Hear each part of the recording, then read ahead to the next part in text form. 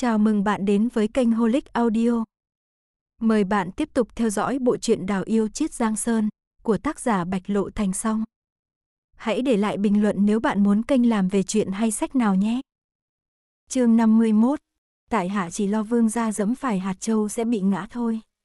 Thẩm Tại Giã cười, quay người nói với Trạm Lư, vào trong sai người dọn dẹp, không được bỏ sót một hạt nào. Vâng, Trạm Lư đáp lời, vội gọi nha hoàn đi vào, thầm tại giã kéo cảnh vương vừa đi vừa nói, vương gia vẫn nên về sớm thì hơn, còn có việc phải làm. Mục vô ngân nhướng mày, liếc nhìn về mặt thầm tại giã, dừng bước, bổn vương biết thừa tướng hai năm mà chưa bao giờ thấy thừa tướng hoang mang như hôm nay. Có phải có chuyện gì giấu bổn vương không? Không có, thầm tại giã cười cười, vương gia nghĩ nhiều rồi. Vô ngân tuy ngu đần nhưng vẫn có trực giác, cảnh vương nheo mắt nhìn y, khẽ cười thành tiếng, bỏ lại y quay ngược lại thư phòng. Vương ra, thẩm tại giã siết chặt tay, ngài có ý gì? Cảnh vương không để ý tới y, ánh mắt nhìn quanh thư phòng, cuối cùng đáp xuống gầm bàn. Đồng tử hơi co lại, thẩm tại giã đưa tay định ngăn cản, nhưng đã chậm hơn cảnh vương một chút. Như phát hiện ra điều gì, hắn lao tới vén khăn trải bàn lên. Trong thư phòng yên lặng như tờ, gió xuân từ cửa sổ thổi vào, lướt qua dưới chiếc bàn trống, rồi lại lọt ra ngoài cửa sổ phía bên kia. Thẩm tại giã cảm thấy tim mình ngừng đập hai nhịp, phải một lúc sau mắt mới nhìn rõ, đợi não có phản ứng thì bên dưới đã không còn ai nữa, lúc này tim mới đập nhanh trở lại. Cảnh vương ra, mục vô ngân có chút xấu hổ, đưa tay nhặt mấy hạt châu dưới gầm bàn, sau đó chậm rãi thả khăn trải bàn xuống, cười nói, vừa rồi nhìn thấy có hạt châu lăn dưới bàn, nghĩ nha hoàn trong phủ thừa tướng có lẽ cũng không cẩn thận, nên để đích thân bổn vương nhặt vẫn tốt hơn. Trên mặt thầm tại giã thoáng chút không vui, nhưng dường như cũng đã nhịn được, nhưng người ra bên ngoài làm động tác mời. Mục vô ngân cười khan hai tiếng, theo y đi ra ngoài, nhỏ giọng nói, bổn vương trước giờ vẫn luôn đang nghi, tướng ra chớ để trong lòng. Tại hạ hiểu mà, thầm tại giã ngẩng đầu nhìn trời, như thể đã trải qua bãi bể nương dâu, cho dù tấm lòng trung thành với máu của tại hạ đặt trước mặt mọi người thì người trong hoàng thất cũng khó tránh khỏi nghi hoặc mà chê máu này quá nóng. Thừa tướng nặng lời rồi, Mục vô ngân kinh ngạc, vội chắp tay cúi đầu nói, vô ngân không hề nghi ngờ tấm lòng của thừa tướng, thừa tướng hết lòng giúp đỡ ta, sao vô ngân có thể không biết được. Trong lòng chỉ có cảm kích, sao có thể còn có suy nghĩ khác. Thẩm tại giã thở dài, miệng thì nói tại hạ hiểu, nhưng nỗi buồn trong mắt lại càng đậm hơn. Mục vô ngân lo lắng chặn trước mặt y, bổn vương bằng lòng hứa hẹn, chỉ cần bổn vương có được ngai vàng, nhất định sẽ giao hết mọi việc lớn nhỏ cho thừa tướng để thể hiện lòng tin của bổn vương. Thẩm tại giã thoáng ngây người, cục mắt chắp tay, thẩm mỗ vô đức vô năng, sao có thể đảm đương được trọng trách này. Thiên hạ này không có ai thích hợp hơn tướng gia. Mục vô ngân nói, chỉ cần tướng gia thật lòng giúp đỡ ta, một ngày nào đó ta lên ngôi, nhất định sẽ cho thừa tướng vinh quang muôn đời, phúc âm cho con cháu. Thẩm tại giã khẽ mỉm cười, trả lễ, vinh hoa chỉ là phù vân, thẩm mỗ chưa chắc đã coi trọng. Tuy nhiên, thẩm mỗ rất vui vì vương gia có thể tin tưởng thẩm mỗ như vậy. Vương gia đi thong thả. Thấy y có vẻ đã dịu đi, mục vô ngân cũng thở phào nhẹ nhõm, gật đầu hành lễ rồi xài bước ra khỏi tướng phủ. Nghe thấy tiếng xe ngựa khởi hành, thẩm tại giã mới đưa tay ấn ngực, quay trở lại thư phòng. Khương đào hoa, thẩm tại giã liếc nhìn xung quanh không một bóng người, giận dữ quát to. Một cái đầu từ ngoài cửa sổ thò vào, đào hoa cười he he, nhìn y với vẻ mặt muốn khen thưởng, đã thấy thanh đài vượt nóc băng tường nhiều năm như vậy, thân thủ của thiếp thân vẫn rất nhanh nhẹn. Thế nào, biến nguy thành an có được ban thưởng không? Chốt bỏ sự ngột ngạt trong lòng, thầm tại giã sách đào hoa đi vào trong, ánh mắt rơi trên mặt nàng, như thể đang suy nghĩ điều gì. Bị y nhìn khiến sống lưng lạnh toát, đào hoa vội đưa tay che mặt, nhìn y qua cái ngón tay, ra đừng nghĩ đến việc hủy dung của thiếp thân nhé, thiếp thân dựa vào nó để kiếm cơm đấy. Không phải nàng dựa vào ta để kiếm cơm sao? Thẩm tại giã cười nói, vứt bỏ một thứ gì đó cũng không sao chứ. Ra sẽ luôn cho nàng ăn cơm. Đào hoa lắc đầu như trống bỏi, sắc mặt tái nhợt, ngài không thể như vậy được, hôm nay chỉ là tai nạn thôi, sau này sẽ không có chuyện trùng hợp như vậy nữa, thiếp thân cam đoan cảnh vương sẽ không bao giờ phát hiện ra bất cứ manh mối gì. Ta không thích có những mối nguy hiểm không thể xác định mai phục quanh mình. Thẩm tại giã cậy tay nàng ra, tiến sát khẽ hôn lên má nàng, mạng sống và khuôn mặt, nàng hãy chọn một. Trong lòng nặng chiếu, mặc dù cả hai đều đang mỉm cười nhưng trong lòng Khương Đào Hoa biết Thẩm tại giã không hề nói đùa, y thật sự rất nghiêm túc muốn biến dung mạo của nàng trở nên khiến cảnh vương không thể nhận ra. Cổ họng hơi nghẹn lại, Đào Hoa cảm thấy đàn ông quả thật là loài động vật lạnh lùng nhất trên thế giới. Trước đó vẫn có thể mặn nồng với nàng, quấn quýt không rời, nhưng chỉ trong chớp mắt lại có thể máu lạnh muốn hủy hoại nàng. Người như vậy không thích hợp để tâm tình. Ra, nàng thỏ thẻ, ngài nỡ sao? Trong Tam Quốc không tìm ra được khuôn mặt thứ hai xinh đẹp như thiếp thân đâu, ngài đang cầm trong tay báu vật hiếm có đấy. Nếu dễ dàng hủy hoại như vậy thì thật đáng tiếc. Tay trái vẫn siết chặt tay nàng, thầm tại giã hơi nhướng mày, nhìn nụ cười rạng rỡ trên mặt nàng, rồi lại lau mồ hôi trên tay nàng, không hiểu sao trong lòng lại đột nhiên dịu lại. Làm người ta sợ chưa kìa. Khóe môi hơi nhếch lên, tay y dùng lực kéo nàng vào lòng, cúi đầu nói vào tai nàng, đừng căng thẳng, ta chỉ nói đùa thôi mà. Trò đùa này chẳng buồn cười chút nào, đào hoa run rẩy, giang tay ôm lấy y, viền mắt hơi ửng đỏ. Đối với người ngoài, có lẽ nàng trông giống như một cô gái nhỏ sợ hãi vì bị đùa giỡn, bổ nhào vào vòng tay người ta để được an ủi. Chỉ có bản thân đào hoa mới biết rằng rõ ràng là nàng sống sót sau tai nạn, nghĩ lại còn dùng mình. Cơ thể trong lòng khẽ run lên, gầy gò yếu ớt. Thẩm tại giã mím môi, khẽ thở dài, sau đó đưa tay giữ cầm nàng hôn lên. Nước mắt chảy dài trên má, đào hoa nghẹn ngào nói không rõ ràng, ban đầu ngài chê thiếp thân bẩn, nhưng sao giờ lại cứ thích hôn thiếp thân. Không bẩn, ánh mắt thầm tại giã dịu xuống, nhẹ nhàng ôm lấy nàng, như đang dỗ dành một đứa trẻ, môi nàng rất mềm mại, giống như bánh gạo nếp, vừa thơm vừa ngọt. Nước mắt tuôn trào, đào hoa miếu máu, còn cố tình đỏ mặt nữa. Thẩm tại giã cục mắt nhìn nàng, đưa tay lau nước mắt trên mặt nàng, nhưng không hiểu sao càng lau càng nhiều. Đừng khóc nữa. Viền mắt của đào hoa đỏ ửng, tuy gật đầu đồng ý nhưng nước mắt vẫn không ngừng rơi. Tự dưng có hơi lo lắng, thầm tại giã bế nàng đặt lên kệ sách phía sau, nếu còn khóc nữa thì hôm nay nàng đừng hòng rời khỏi viện này. Ra nói thế là cổ vũ thiếp thân khóc, hay là muốn thiếp thân đừng khóc nữa. Đào hoa nước mắt lưng trong nước nở hỏi. Thẩm tại giã bật cười, dùng hai tay tách chân nàng ra, vòng qua eo mình, cúi đầu hôn nàng. Liếc nhìn cửa sổ đang hé mở, đào hoa thoáng đỏ mặt. Tuy nhiên, trong bán kính ba trượng chắc cũng không có ai dễ dàng tiếp cận một con cầm thú như thầm tại giã, nên nàng vẫn tập trung tinh thần vào việc quyến rũ y. Áo quần sộc sạch, da thịt cận kề, đôi mắt mới khóc của Khương Đào Hoa giống như một cái ao sau cơn mưa, khiến người ta muốn rơi vào trong đó. Thẩm tại giã nhìn vào mắt nàng, cảm thấy lời nói trơ chẽn vừa rồi của nàng không hẳn là không có lý. Khuôn mặt nàng quả thật hiếm có trong tam quốc, y thật sự cũng không nỡ. Ra, ngài thật sự muốn tha cho thiếp thân sao? Đào hoa đột nhiên hỏi thật dịu dàng. Bình thường thầm tại giã sẽ không trả lời câu hỏi kiểu này, nhưng không hiểu sao nhìn vào mắt nàng, y lại cất lời thật lòng, chỉ cần nàng để ta sử dụng. Là giọng nói của y nhưng không giống như y tự nói. Cảm thấy lo lắng, thầm tại giã nghiến răng, lấy con dao găm giấu trên kệ sách ra cứa vào ngón tay mình. Tầm nhìn bỗng chốc trở nên rõ ràng, nữ nhân trước mặt bờ vai như ngọc, yêu kiều thướt tha, trong mắt tràn đầy vẻ ngây thơ nhìn y. Ra, ngài sao vậy? Chết tiệt, lại bị nàng lợi dụng sơ hở nữa rồi. Thẩm tại giã nheo mắt lại, nắm lấy cổ tay nàng, ép chặt nàng vào kệ sách, nghiến răng nghiến lợi, nàng đó, sao không thể khiến ta bớt lo chút nào hả? Đã giao kèo là không được dùng mỹ thuật với y nữa rồi mà, nàng thật là to gan. Đào hoa miếu máu, khịt mũi, ra được phép nói đùa, thiếp thân thì không được hay sao? Thôi được, nàng có lý, cái miệng này rất lợi hại. Chỉ là không biết ở trên giường cũng có thể vẫn lợi hại từ khi nào, đừng cứ lúc nào cũng trông như một con thỏ bị bắt nạt với đôi mắt thuần khiết vô tội vậy, khiến y nhìn mà chỉ muốn vò nát thôi. Thẩm tại giã mím môi, bế nàng lên, xoay người đóng cửa sổ hai bên lại, sau đó đè nàng vào cửa sổ, mặc ý triền miên. Minh Châu rơi vãi khắp phòng còn chưa kịp dọn xong, nha hoàn đã không dám ở lại đây nữa, bỏ ngọc trai đấy rồi bỏ chạy. Khi mặt trời dần lặn, trăng vừa nhô lên, thầm tại giã mở cửa sổ ra. Những viên minh châu phát sáng dưới ánh trăng, rất giống làn da của Khương Đào Hoa. chương 52 Thẩm tại giã khẽ hừ một tiếng, giơ tay lên ôm nàng vào lòng. Kéo chiếc áo choàng ở bên cạnh qua quấn nàng lại rồi bế thẳng ra ngoài.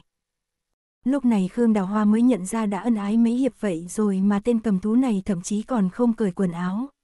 Chiếc áo choàng màu xanh nước biển thêu viền vàng, thân trước vẫn còn rất phẳng phiu.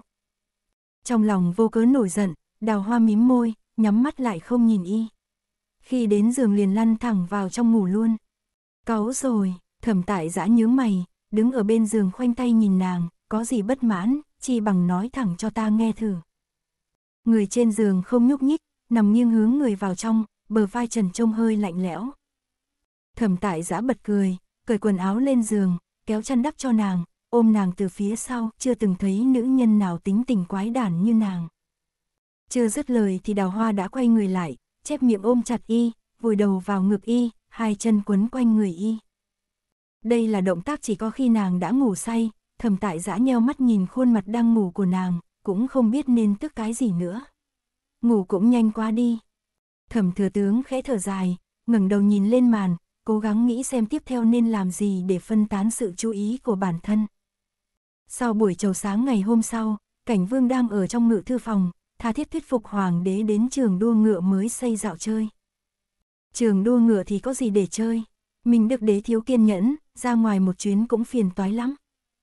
Thẩm tại giã nghe xong tiến lên nói, hoàng thượng ở trong cung quen rồi, chỉ sợ Lan Quý Phi vẫn thích ở bên ngoài. Đã hai năm rồi, người cũng nên đưa nương nương ra ngoài đi dạo. Trường đua ngựa ở dưới núi phía tây, trên núi là bãi săn bắn, làm một cuộc đi săn mùa xuân chẳng phải rất tuyệt sao. Hoàng đế sững người, cúi đầu suy nghĩ, ái khanh nói cũng đúng, Lan Quý Phi ở trong cung này, e là đã lâu rồi không được nhìn thấy phong cảnh bên ngoài.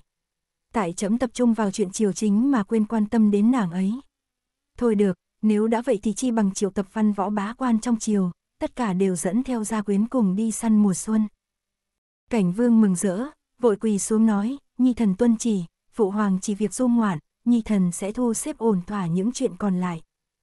Ừ, mình được đế ngẫm nghĩ rồi đột nhiên quay đầu nhìn thầm tại giã, công chúa nước triệu vào phủ của Khanh cũng hơn một tháng rồi nhỉ. Trong lòng thoáng có dự cảm chẳng lành, thầm tại giã mím môi đáp, đúng là đã hơn một tháng rồi. Chung sống thế nào? Thầm tại giã dối lòng, cúi đầu thốt ra bốn chữ tương kính như tân. Vậy thì chậm yên tâm rồi. Mình được đế thở dài, mặc dù bây giờ nước triệu đã suy tàn, nhưng chúng ta cũng không muốn tốn sức gây chiến mà vẫn cần sự liên minh giữa hai nước. Công chúa nước triệu gà đến đây cũng là do chấm nhất thời bốc đồng, tuổi thân cho Khương Thị rồi. Chuyến đi săn mùa xuân lần này, ái khanh hãy dẫn theo Khương Thị đi nữa. Lông mày thầm tại giã giật giật, vội nói, Hoàng thượng, Khương Thị gần đây không được khỏe, dẫn nàng ấy ra ngoài sợ là. Sao, không thể dẫn theo à?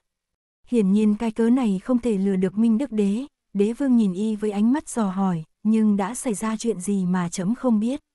Ái Khanh đã xử tệ với Khương Thị sao? Không có, Thẩm tại giã nhắm mắt, liếc nhìn cảnh vương đang tò mò bên cạnh, lòng thầm thở dài. Phải chăng đây là số mệnh, đã tìm mọi cách né tránh rồi cuối cùng vẫn phải đụng nhau. Thần, tuân chỉ. Minh Đức Đế gật đầu, trong mắt cảnh vương tràn ngập niềm vui, nhưng Thẩm tại giã lại cụp mắt, suy nghĩ rất nhiều. Tranh xuân các, đào hoa cứ cảm thấy hôm nay mình đã quên mất chuyện gì, ngồi trên Nguyễn Tháp nghĩ tới nghĩ lui nhưng đầu càng ngày càng đau.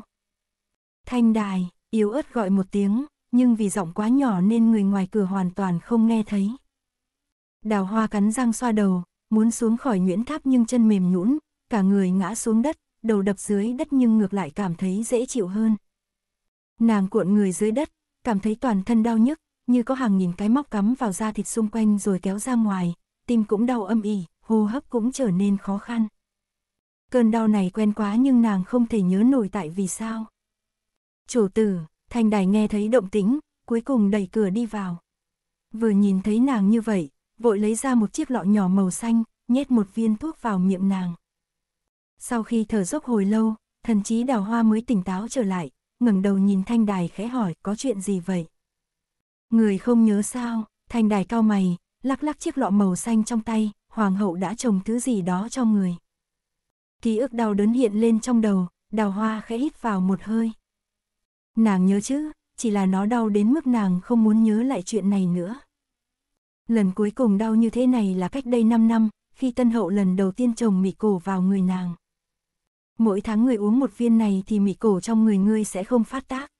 Lúc đó tân hậu cười rất rạng rỡ, nhét một viên thuốc vào miệng nàng, mỗi tháng bổn cung đều sẽ sai người cho ngươi uống đúng giờ, ngươi sẽ không cảm thấy đau đớn nữa. Trừ khi ngươi không nghe lời, muốn tự tìm cái chết. Đào hoa nhắm mắt lại, thấp giọng nguyền rủa, sao ta có thể quên được. Là lỗi của nô tỳ. thành đài mím môi, tháng này nô tỳ quên mất, khiến chủ tử phải chịu khổ. Lúc chúng ta rời nước triệu, bà ta đã đưa ngươi bao nhiêu viên thuốc. Môi đào hoa trắng bệch nhưng vẫn mỉm cười hỏi. Thanh đài đáp, 12 viên. Tính toán chuẩn thật, 12 viên vừa đúng một năm, sau một năm, sứ thần nước triệu sẽ đến đại ngụy, đến lúc đó xem nàng có nghe lời hay không, tần hậu mới quyết định có kéo dài mạng sống hay không. Hóa ra bản thân chỉ là một con diều, tuy đã được thả sang đại ngụy nhưng cuộn dây vẫn bị người khác kéo. Đào hoa cắn răng, suy nghĩ một hồi rồi viện tay thanh đài đứng dậy, không sao rồi, lần sau ngươi nhớ cho ta uống đúng giờ là được, lui xuống đi. Vâng, thanh đài dìu nàng trở lại Nguyễn Tháp, vừa định quay người đi ra ngoài thì nhìn thấy tướng ra bước vào trong viện. người ra ngoài trước đi, vừa vào phòng chính, thẩm tại giã trực tiếp đóng cửa lại cho thanh đài ở ngoài, sắc mặt vô cùng khó coi. Đào hoa vội vàng lau mặt, cố gắng tỏ ra tràn đầy sức sống, tiếp thân thỉnh an ra. Thẩm tại giã cao mày nhìn nàng, vốn định nói chuyện đi săn nhưng lại bị sắc mặt tái nhợt của nàng làm cho giật mình. Nàng làm sao vậy? Đào hoa mím môi, ngón tay khẽ vuốt tay áo, mỉm cười nói, lúc nãy nằm nghỉ trên Nguyễn Tháp vô tình gặp ác mộng. Ác mộng gì mà có thể khiến nàng trở thành thế này? Thẩm tại giã nheo mắt, đưa tay ôm nàng vào lòng, ngồi trên Nguyễn Tháp, cúi đầu quan sát thật kỹ, mồ hôi đầy đầu, sắc mặt trắng bệch, mơ thấy quái thú muốn ăn thịt nàng cũng không đến mức như vậy chứ. Cũng chưa chắc, đào hoa bật lại ngay, lần trước mơ thấy ra, thiếp thân tỉnh lại cũng như thế này. Thẩm tại giã, dám nói mơ thấy y là ác mộng. Tay y khẽ siết chặt, nhìn nàng nở nụ cười giả tạo, trong mơ ra ăn thịt nàng hay giết nàng mà đáng sợ đến vậy. Đào hoa cười khan hai tiếng, chớp chớp mắt nhìn y, ra muốn nghe lời thật lòng không? Tất nhiên, ra trong giấc mơ giống như ra đang cười với thiếp thân vậy. Đào hoa rụt cổ lại, sợ sệt nhìn y, dáng vẻ giống như sắp nhe nanh ra cắn người. Thẩm tại giã há miệng cắn mạnh lên vai nàng, nói lời gay gắt, chúc mừng nàng, ác mộng đã trở thành hiện thực. Đào hoa nhịn không được cười khi một tiếng, trên mặt cũng bỗng có chút huyết sắc. Thẩm rắn độc phun nọc sao cũng có lúc lại ấu trĩ đáng yêu như thế. Lúc nãy ra vội vàng đi vào như vậy chắc chắn không phải là để cắn người đúng không? Đào hoa nè y, vừa cười vừa hỏi, xảy ra chuyện gì à? Nghĩ đến chính sự, thẩm tại giã buông nàng ra, vẻ mặt nghiêm túc, hoàng thượng muốn tổ chức một cuộc đi săn mùa xuân, bảo ta dẫn theo nàng. Ồ, cuộc đi săn mùa xuân, đào hoa gật gù. Khoan đã, đột nhiên nhớ ra điều gì, đào hoa chừng mắt nhìn thẩm tại giã, đi săn kiểu này, có phải các hoàng tử đều tham gia không? Hỏi thừa, thẩm tại giã nhịn không được kỹ đầu nàng một cái, nếu hoàng tử không đi thì ta lo lắng cái gì? Đào hoa lập tức ôm mặt, ta có thể đeo mạng che mặt không? Theo quy định, nữ quyến của quan thần diện thánh đều phải đeo mạng che mặt. Nhưng cúi đầu nhìn xuống mặt nàng, thầm tại giã mím môi, nàng đeo mạng che mặt cũng rất dễ nhận ra. Đào hoa thở phào, vỗ vỗ vài y, có thể đeo mạng che mặt thì sẽ dễ dàng hơn nhiều, thiếp thân rất giỏi cải trang, hóa trang thành người khác với cô nương trong trí nhớ của cảnh vương là được chứ gì. Thẩm tại giã nghi hoặc nhìn nàng. Ngài đừng có mà không tin, ngài nhìn thiếp thân lúc trang điểm nhẹ và trang điểm đậm có phải là một người không? Đào hoa vô cùng tự tin, trang điểm là đại học vấn, đàn ông các người không hiểu đâu. Vậy được, thẩm tại giã nói, nàng phải chịu trách nhiệm về mạng sống của chính mình và mạng sống của mọi người trong tướng phủ ta. Nếu cảnh vương nhận ra nàng, ta có thể sẽ bỏ nàng ngay lập tức, nàng phải biết điều này. Thiếp thân biết lâu rồi, đào hoa cười tít mắt rời khỏi vòng tay y, đứng xuống đất hành lễ, vốn cũng không mong ra sẽ bảo vệ thiếp thân vô điều kiện. Cảm ơn bạn đã ghé thăm kênh Holic Audio, chương 53. Trong phòng yên tĩnh một hồi, cuối cùng Mai Chiếu Tuyết cũng ngẩng đầu nhìn Tần Thị hỏi, muội có cách gì? Tần giải ngữ cười khanh khách, cúi đầu thì thầm một chàng vào tai Mai Thị. Ôn thanh các, cố hoài nhu lấy cơ tĩnh dưỡng, vẫn luôn nhốt mình trong nhà không dám ra ngoài. Tuy nói là đã thoát được một kiếp nạn nhưng vẫn luôn cảm thấy dùng mình run sợ. Nàng ta không dám đảm bảo rằng người trong phủ thật sự không biết gì, nhưng đã đợi bao nhiêu ngày rồi mà vẫn không có tin tức gì khác. Không lẽ nàng ta đã lừa được tất cả mọi người? Chủ tử, Việt Đào từ bên ngoài chạy vào, sắc mặt rất khó coi, tần nương tử đến. Cố Hoài Nhu giật thót, cao mày, nàng ta tới đây làm gì? Vừa dứt lời, tần giải ngữ đã bước vào phòng trong, vẻ mặt rất nghiêm túc, cố nương tử, xảy ra chuyện rồi. Cố Hoài Nhu khẽ siết chặt tay, cao mày nhìn nàng ta, xảy ra chuyện gì mà phải phiền nương tử đích thân đến đưa tin thế. Tần giải ngữ muốn nói nhưng lại thôi, quay đầu nhìn Việt Đào và nha hoàn bên cạnh. Cố Hoài Nhu do dự một lát rồi xua tay nói, lui xuống cả đi. Vâng. Cửa phòng đóng lại, tần giải ngữ không giấu được vẻ lo lắng trên mặt nữa, thần sắc kỳ quái nhìn cố Hoài Như, vừa có tin tức truyền đến, mạnh thị tự sát trong mạnh phủ rồi. Cái gì, cố Hoài Nhu cả kinh, mặt trắng bệch, mất rồi. Mất rồi, tần giải ngữ thở dài, dù sao cũng là tìm muội trung phủ nhiều năm, lúc mới nghe tin ta cũng giật mình. Bây giờ mạnh phủ đang ém chuyện này xuống không dám rêu rao, chỉ có một số ít người biết thôi. Cố Hoài Nhu hít mấy hơi khí lạnh, lấy tay che ngực, ánh mắt đờ đẫn, không khỏi lẩm bẩm, chỉ là bị trả về thôi mà, sao lại nghĩ quẩn như thế. Nương tử nói nghe nhẹ nhàng quá, tần giải ngữ vuốt chiếc khăn tay, tức giận nhìn cố thị, nếu là nương tử, vì mưu sát con của chồng mà bị trả về nhà mẹ đẻ, nương tử có thể chịu nổi không? Huống chi người nàng ta hại là con của tướng gia, chắc chắn sẽ bị gia đình của trách rất nhiều. Mặc dù, tần giải ngữ thay đổi giọng điệu, đột nhiên cười rất quái dị, nhìn cố hoài nhu, mặc dù cũng không phải nàng ta thật sự hại chết con của gia. Sống lưng lạnh toát, cố hoài nhu kinh ngạc ngẩng đầu nhìn nàng ta, giọng lúng túng, nương tử có ý gì? Người ngay không nói lời mở ám, tần giải ngữ cúi đầu liếc nhìn bụng cố thị, hừ nhẹ, ta biết rất rõ trong bụng nương tử có con nối dõi của gia hay không. Vốn nghĩ cũng không phải chuyện gì lớn, chẳng qua chỉ là một thủ đoạn tranh sủng mà thôi, nên cũng không muốn nói cho ra biết. Nhưng bây giờ lại xảy ra án mạng. Cố Hoài Nhu hít vào một hơi khí lạnh, kinh ngạc nhìn nàng ta, sao nương tử biết. Trên đời có chuyện trùng hợp như vậy đấy, ta cũng biết đại phu huyền hồ đường mà nương tử mời vào phủ để hối lộ. Tần giải ngữ cười duyên dáng, vuốt tóc, nói như vậy nương tử có hiểu không? Toàn thân cố hoài nhu run rẩy trong mắt đầy nỗi hoảng sợ nhìn tần thị, nương tử muốn gì? Đừng căng thẳng, dù sao cũng đều là người của tướng phủ, ta cũng không có ý định đuổi cùng giết tận. Tần giải ngữ nhìn nàng ta, chỉ cần nương tử giúp ta một việc thì ta sẽ giấu kín chuyện này trong bụng, sẽ không ai biết được. Mắt dần mở ra, đồng tử của cố Hoài Nhu phản chiếu khuôn mặt của tần giải ngữ nốt ruồi hình thoi ngay ấn đường như đang bốc cháy, trong mắt ẩn chứa ý cười khiến người ta ớn lạnh toàn thân, giống như một con yêu tinh xinh đẹp vừa liếm vệt máu trên môi vừa nhìn nàng ta. Tranh xuân các Khương Đào Hoa cẩn thận lựa chọn y phục và trang sức, lại bảo Thanh Đài đến chỗ quản gia lấy son la đại mới, sau đó ngồi trước bàn trang điểm cẩn thận so sánh xem trang điểm kiểu nào phù hợp hơn. Đang tô vẽ thì Thanh Đài bước vào bẩm báo, chủ tử, cố nương tử đến. Cố Hoài Nhu, Đào Hoa ngây người, quay đầu liền thấy cố thị sắc mặt tái nhợt đi vào, đến trước mặt nàng hành lễ, Khương nương tử. Không phải vừa mới mất con, phải tĩnh dưỡng sao? Đào hoa tò mò nhìn nàng ta, ngồi yên bất động, sao lại chạy đến chỗ ta làm gì? Cố Hoài Nhu vô cùng hoảng sợ, cũng không để ý bên cạnh còn có nha hoàn, trực tiếp quỳ xuống trước mặt Khương Đào Hoa, nương tử cứu mạng. Thanh đài giật mình, vội đưa tay đỡ nàng ta, nương tử và chủ tử nhà ta địa vị ngang nhau, chớ hành đại lễ như vậy.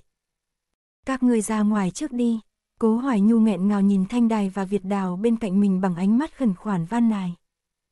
Đào Hoa mím môi, liếc nhìn nàng ta rồi gật đầu với Thanh Đài. Những nha hoàn bên cạnh đều đồng loạt lui ra ngoài, đóng cửa lại.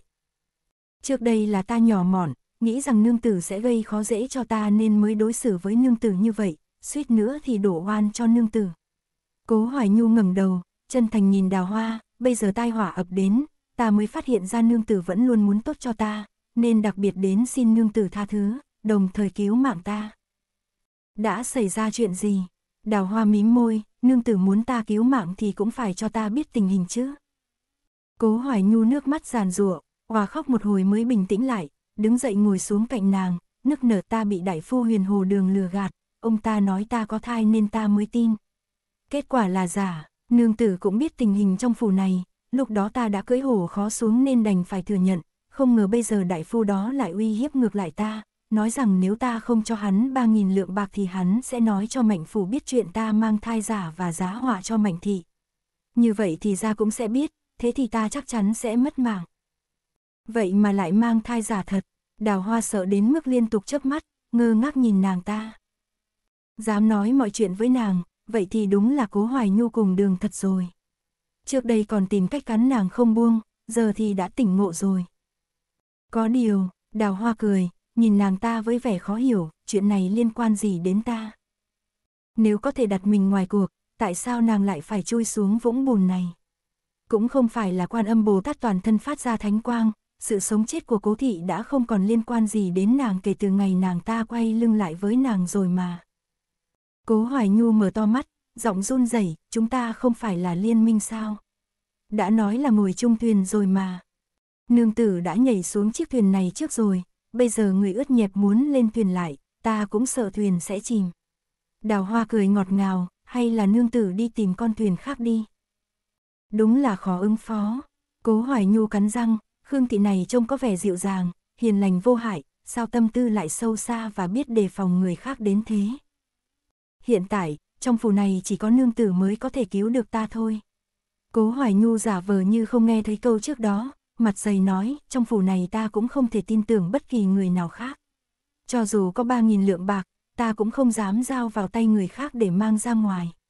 Trong khi ta lại đang tĩnh dưỡng, nếu tùy tiện rời phủ, sợ là sẽ khiến người khác nghi ngờ. Đời ta chưa bao giờ nhờ ai giúp đỡ, nếu lần này nương tử sẵn lòng giúp thì Hoài Nhu nhất định sẽ hầu tạ. Ồ, cuối cùng đào hoa cũng ngồi thẳng dậy, có thể hầu tạ gì?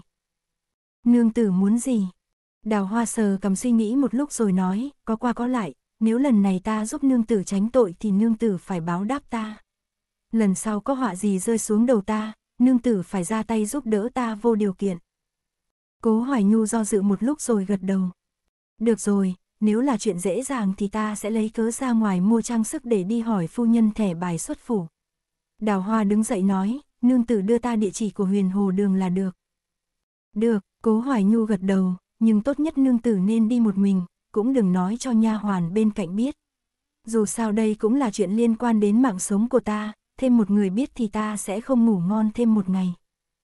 Ta biết rồi, đào hoa gật đầu không chút phòng bị, ngay cả thanh đài ta cũng không mang theo, rời khỏi phủ sẽ đổi nó đi chỗ khác. Cố Hoài Nhu thở phào nhẹ nhõm, lấy ngân phiếu ra đưa cho nàng, lại viết địa chỉ của huyền hồ đường, đặt vào tay nàng. Đào hoa liếc nhìn rồi cười tít mắt tiễn cố thị ra ngoài, thề thốt rằng đảm bảo hôm nay sẽ xong việc. chương 54 Cái gì? Mục vô ngân bối rối, tò mò nhìn nàng, bổn vương sai người bắt nàng vứt đi lúc nào. Bổn vương vẫn đang tìm nàng. Đồ dối trá, đào hoa quay đầu lại, giơ tay áo che mặt buồn bã, đàn ông các người đều là kẻ dối trá, một mặt nói sẽ đối tốt với ta, một mặt lại phái người hãm hại ta. Biết sẽ xảy ra nhiều chuyện như vậy, ngay từ đầu tiểu nữ tử nên về quê cho rồi. Nàng đừng khóc, mục vô ngân có chút hoảng hốt, bối rối nhìn nàng, lại liếc mắt nhìn đám người chướng mắt xung quanh, vất tay nói, còn đứng ngây ra đó làm gì. Giải người về đại lao, tất cả các ngươi ra bên ngoài đợi đấy. Vâng, xung quanh nhanh chóng trở nên yên tĩnh, đào hoa vươn tay ôm lấy thân cây bên cạnh, vừa lo lắng bóc vỏ cây, vừa khóc lóc thảm thiết. Nàng nói cho bổn vương biết rốt cuộc chuyện là như thế nào. Mục vô ngân đứng bên cạnh nàng, cao mày nói, bổn vương suýt thì nghĩ rằng nàng là kẻ lừa đảo, muốn truy nã nàng, sao lại phái người bắt cóc nàng chứ? Hôm đó ở sòng bạc, chẳng phải quý nhân liên tục đánh bạc sao? Tiểu nữ tử nói với ngài là đi tìm cha trước và ngài đã đồng ý, kết quả tiểu nữ tử vừa đi được hai bước thì đã bị bắt lại, nói tiểu nữ tử mê hoặc chủ tử, không thể ở lại kinh thành rồi bắt tiểu nữ tử ra vùng ngoại thành. Nếu không có người tốt bụng đi ngang qua cứu mạng thì bây giờ sợ là tiểu nữ tử đã chết đói ở bên ngoài rồi. Tuân thủ tôn chỉ kẻ ác nhất định phải tố cáo trước, Khương Đào Hoa tùy ý bịa chuyện, nói một cách vô cùng xúc động, những người đó không phải là người của ngài sao. Mục vô ngân sừng sốt, vô cùng ngoan uổng, quả thật không phải người của bổn vương. Tuy nhiên, bên cạnh hắn có rất nhiều mưu thần, cũng không có gì kỳ lạ khi có người có suy nghĩ như vậy, xem ra quả thật hắn đã đổ oan cho nàng. Mục vô ngân thở dài, tiến lên nắm lấy tay đào hoa, tất cả đều là lỗi của bổn vương, nàng tha thứ cho ta một lần được không? Đào hoa nhắm mắt, cắn răng nói, bây giờ có nói gì cũng đã muộn, tiểu nữ tử đã là người của người khác rồi. Cái gì? Xét đánh giữa trời quang, mặt mục vô ngân trắng bệch, nắm lấy bả vai nàng hỏi, sao có thể như vậy? Ngài không thấy hôm nay tiểu nữ tử bị truy sát sao? Đào hoa cười khổ, chỉ là thê thiếp trong phủ của người lấy ta rất lợi hại, thấy tiểu nữ tử đắc sùng thì không chịu được, nên đã phái sát thủ đến, muốn lấy mạng ta. Thật là một câu chuyện liền mạch logic không chê vào đâu được. Khương Đào Hoa cảm thấy mình thật sự quá thông minh. Biểu cảm của cảnh vương rất phức tạp, trong mắt đầy vẻ đau lòng, hồi lâu không thể chấp nhận sự thật này mỹ nhân vốn thuộc về hắn giờ đã trở thành người của người khác. Hắn chăn chờ lâu như vậy, người mà hắn luôn nhung nhớ vậy mà lại thành người của người khác. Người đó là ai? Một lúc lâu sau, hắn trầm giọng nói, thế thiếp trong phủ mà cũng dám giết người, bổn vương cũng nên làm chủ đòi lại công bằng cho nàng. Chân đào hoa mềm nhũn, suýt thì không đứng vững, nhìn cảnh vương như nhìn một tên thần kinh, như vậy. Không ổn đâu, tiểu nữ tử và quý nhân không thân không thích, ngài tùy tiện đứng ra bảo vệ ta sẽ chỉ chốt thêm họa cho ta mà thôi. Lúc trước thầm tại giã đã nói gì nhỉ? Cảnh vương trầm ổn cẩn thận, đây chỉ đơn giản là một kẻ ngốc không thể bước đi khi nhìn thấy nữ nhân mà thôi. Nàng tốt đến thế sao? Đã trở thành người của người khác rồi mà hắn vẫn không chịu buông tay. Được rồi, nàng thừa nhận mình có dùng mỹ thuật, nhưng cũng không bỏ quá nhiều công sức, hắn đến mức phải như vậy sao? Bổn vương không cam tâm, cảnh vương nhắm mắt, trên trán đầy vẻ thống khổ, nếu ở chỗ người khác nàng đã sống không tốt, chỉ bằng quay lại với bổn vương đi. Đào hoa kiên định ôm chặt thân cây bên cạnh, lắc đầu. Thành đài đứng ở xa nhìn, cảm thấy có gì đó không ổn, vội bảo quan binh phía sau quay về thông báo cho tướng ra. Thẩm tại giã vừa xong việc hồi phủ, nhưng thấy tranh xuân các vắng tanh. Đang định hỏi người đi đâu cả rồi thì nghe thấy bên ngoài có người bẩm báo, tướng ra, thanh đài cô nương mời ngài đến khu rừng ở ngoại thành một chuyến. Khu rừng ngoại thành, thẩm tại giã cao mày, liếc nhìn mấy nha hoàn chạy vặt trong tranh xuân các, hôm nay ai đã đến đây? Mấy nha hoàn dè dặt đáp, trước đó cố nương tử có đến, không biết nói gì mà nương tử của chúng ta liền rời phủ đi mua trang sức. chương 55, nàng ấy không phải là nữ nhân không rõ lai lịch, cảnh vương cao mày, bổn vương đã tìm nàng ấy rất lâu rồi, lần trước tạm biệt ở sòng bạc đã khiến bổn vương không thể ngủ ngon cả nửa tháng. Nàng ấy không phải người xấu, cũng không có ý đồ bất chính. Sao tên ngốc này gặp ai cũng nghĩ không phải là người xấu thế? Thẩm tại giã và Khương Đào Hoa nhìn nhau, trong lòng hai người đều có chung một suy nghĩ cảnh vương dường như không có khiếu nhìn người. Cho nên, cô nương này còn là người hại ngài bị hoàng thượng phạt nặng lần trước. Thẩm tại giã khó chịu, sao ngài lại chấp mê bất ngộ như vậy, bị mê hoặc một lần rồi vẫn chưa đủ đau khổ sao. Cảnh vương ngây người, hơi mím môi, lần trước là tai nạn, là do bổn vương quá kích động. Sau này sẽ không như thế nữa, bổn vương sẽ đưa nàng ấy về vương phủ chăm sóc thật tốt. Trong lòng thầm tại giã vô cùng bực bội, muốn bước tới gỡ tay tên ngốc này ra, nhưng lý trí lại mách bảo y vẫn chưa được. Y cúi đầu nhìn Khương Đào Hoa, nói bằng ánh mắt hung ác, đừng dùng mỹ thuật nữa. Đào Hoa dương dương nước mắt trả lời y, thiếp thân đã không dùng nữa rồi nhưng người này vẫn chấp mê bất ngộ như vậy, sao có thể trách thiếp thân được. Không dùng, không dùng mà sao cảnh vương lại như vậy. Thẩm tại giã không tin, hỏi hắn, ngài thích điểm gì ở nữ tử này. Cảnh vương sừng sốt, có chút xấu hổ, cúi đầu nhìn người trong lòng nói, bổn vương chưa từng thấy nữ tử nào thanh tao động lòng người như nàng ấy, ánh mắt nàng ấy quá trong trẻo, khiến người ta không khỏi muốn đến gần. Quý nhân, ngó thấy đầu người này lại sấn đến, đào hoa vội bịt tai lại, mặt ửng đỏ. Quai hàm thầm tại giã căng chặt, cười khẩy, không ngờ vương gia cũng là người ham mỹ sắc, thì ra thẩm mỗ đã nhìn lầm người. Cảnh vương giật mình, cao mày ngẩng đầu nhìn y, tướng ra nói vậy là có ý gì? Trước khi lên ngôi, đương kim thánh thượng hoàn toàn không gần nữ sắc, sau khi đã ngồi vững trên hoàng vị mới nạp hậu cung rộng rãi, đây là hành động của minh quân. Ánh mắt thầm tại giã lạnh lùng, rơi xuống tay cảnh vương, còn vương gia hiển nhiên không có khả năng kiềm chế, không thể trở thành minh quân. Đã thế, thẩm mỗ cũng sẽ từ biệt vương gia, từ nay về sau đường ai nấy đi vậy.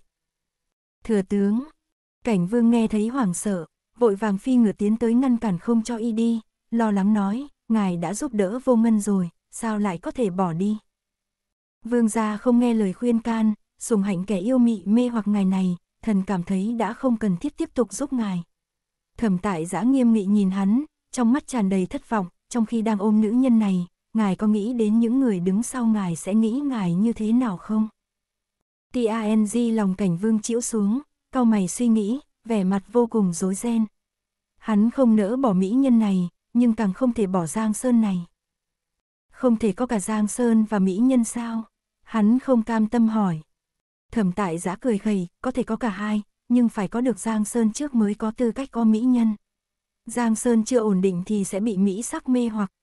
Một vị minh chủ như vậy, đừng nói là thẩm mỗ, sợ là văn võ bá quan trong triều cũng không có mấy người muốn hiếu chung. Sau lưng cảnh toát mồ hôi lạnh, buông đôi tay ôm đào hoa ra, cúi đầu trầm tư. Nếu vương gia biết sai để sửa, thẩm mỗ vẫn có lòng tin tiếp tục bảo vệ ngài lên đường. Thẩm tại giã liếc nhìn hắn, thần sắc cuối cùng cũng khá hơn, đưa tay sách khương đào hoa trước mặt hắn lên ngựa của mình. Cuối cùng đào hoa cũng thở phào nhẹ nhõm, vô thức muốn đưa tay ôm lấy y, nhưng cảnh vương vẫn còn đang ở bên cạnh, nàng chỉ có thể cố gắng kiềm nén, ngẩng đầu nhìn y với vẻ mặt đáng thương. Thẩm tại giã tức giận trợn mắt với nàng, ngó nàng rồi nói với cảnh vương, nữ tử này dung mạo cay nghiệt, nhìn là biết sẽ hại nước hại dân, vương gia tuyệt đối không được giữ lại bên cạnh. Khóe miệng đào hoa khẽ giật, đưa tay sờ mặt mình. Hại nước chỗ nào chứ, lại còn hại dân nữa, mặt nàng rất vượng phu đó. Cảnh vương nghe vậy vẫn có chút không đành lòng, ánh mắt nhìn nàng đầy lưu luyến. Thẩm tại dã như đang đi chợ, sách đào hoa lên nhìn trái nhìn phải, sống mũi quá nhỏ, vận khí không tốt. Chán quá đầy đặn, sẽ lấy đi vận may của phu quân, cánh môi hơi mỏng, chắc chắn miệng lưỡi lèo lự. Sao vương gia có thể thích nữ nhân như vậy được? Khương đào hoa. Dù biết đây chỉ là kế sách tạm thời để thoát thân nhưng nàng vẫn muốn tát y một cái. Ngũ quan của nàng được đại ngụy công nhận là vô cùng tinh tế, rất có phúc khí, sao vào miệng y lại không có lấy một điểm tốt nào thế? Vậy thừa tướng dự định xử trí nàng ấy thế nào? Cảnh vương thở dài hỏi. Thẩm tại giã nheo mắt lại, nếu tiếp tục giữ mầm họa này ở nhân gian thì chắc chắn vương gia sẽ luôn nhung nhớ, chỉ bằng giết ngay tại đây, để ngài có thể tiếp tục làm việc cần làm mà không cần vương vấn. Đào hoa hít một hơi khí lạnh, mở to hai mắt thiếp. Dân nữ vô tội, các ngài làm quan không thể hở ra là coi thường mạng người như vậy được. Cảnh vương cũng giật mình, tướng ra, nàng ấy không làm gì sai, lạm sát người vô tội e là không thỏa đáng. Kể từ khi nàng ta quyến rũ ngài đến mức hồn vía lên mây thì nàng ta đã không còn vô tội nữa rồi. Thẩm tại giã hừ lạnh, phất tay bảo chạm lư ở phía sau mang đến một chiếc lọ nhỏ. Đào hoa không biết chiếc lọ đó, nhưng cảnh vương thì lại rất quen thuộc, đó chính là tiêu giao tán mà hoàng gia và quan gia thường dùng, đừng thấy tên gọi hay là thế, chỉ một lọ là có thể giết chết một người. Thừa tướng, hắn cau mày nhìn đào hoa, nữ tử như thế này mà chết, ngài không thấy đáng tiếc sao? Nếu ngài không ngồi vào được ngôi vị thái tử thì mới càng đáng tiếc hơn. Thẩm tại giã cậy miệng đào hoa ra, cầm lọ lên đổ vào miệng nàng. Đào hoa cố gắng dãy rụa, sợ thầm rắn độc thật sự sẽ tiện thể giết chết mình. Tuy nhiên, khi nhìn vào mắt y, trong đó có một vẻ khiến người ta yên tâm. Y nói, yên tâm, chuyện còn lại cứ giao cho ta. Trong lòng thoáng động, động tác giấy rùa của đào hoa dịu lại, làm bộ chống cự một lát rồi nuốt thứ trong chiếc lọ đó xuống. Chẳng bao lâu sau, một cơn choáng váng ập đến, nàng nhìn cảnh vương lần cuối, đầy vẻ vô tội và lưu luyến. Cảnh vương cắn răng, viên mắt đỏ hoe nhìn nữ tử ấy từ từ ngã vào lòng thầm thừa tướng, nhất thời không biết nên phản ứng thế nào. Lẽ nào đây là cái giá phải trả trong quá trình lên ngôi? Thẩm tại giã mặt không cảm xúc đỡ lấy đào hoa, trao cho chạm lư ở phía sau, mang đi chôn đừng để người khác phát hiện. Nô tài tuân mệnh, chiếc váy màu hồng tung bay tạo thành một vòng cung tuyệt đẹp trên không trung, cảnh vương nhìn bóng người ngày càng được đưa đi xa hơn, rồi nhìn chiếc lọ tiêu dao tán trống không bị vứt dưới đất, vẫn không khỏi đau lòng mà rơi nước mắt. Tuy nhiên, cũng chỉ được một lúc rồi hắn liền bình thường trở lại, chắp tay nói với thẩm tại giã, đa tả thừa tướng. Phần này đến đây là hết. Mời các bạn theo dõi tiếp các video khác trên kênh. Nếu các bạn yêu thích kênh, hãy nhấn theo dõi nhé. Cảm ơn các bạn.